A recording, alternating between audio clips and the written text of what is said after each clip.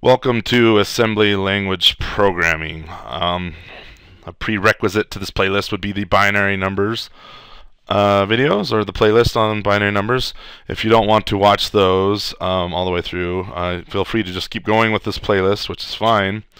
Um, but as I refer to binary and use binary, just know you can use the binary numbers videos in the binary, number, binary numbers playlist uh, to catch up with all that kind of things.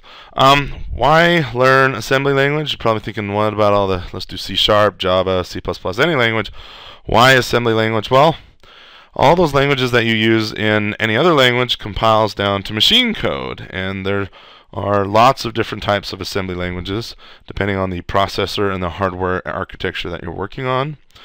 Um, I think a true computer scientist understands the system from the lowest layer of hardware all the way up to the pixie dust you'll find in a language like C Sharp, for example. And that's the kind of programmer I'm trying to go for.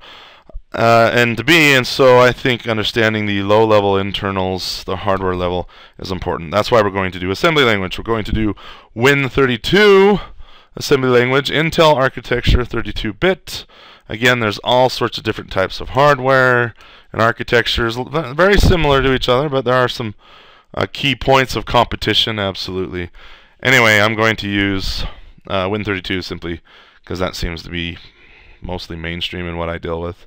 Uh, and then another reason I'm making this playlist is I'm actually teaching this to my nine-year-old son who is picking it up much faster than I can teach it to him at the moment. But I think it's just, if he really wants to get into computer science again, this is a nice basic level of uh, to begin at. I think a lot of people are scared of assembly language because it looks very cryptic, but what we're dealing with is just a overpowered basic calculator that can compute instructions insanely fast. And so if we understand how those instructions go together, uh, we can do some amazing things. And it'll be a fun journey. I'm having a lot of fun uh, teaching my nine-year-old son who's picking it up, and he's uh, doing some amazing things, much much more amazing than I was doing at nine year nine years old. Anyway, I uh, hope you enjoy the playlist, and uh, we'll go on from here.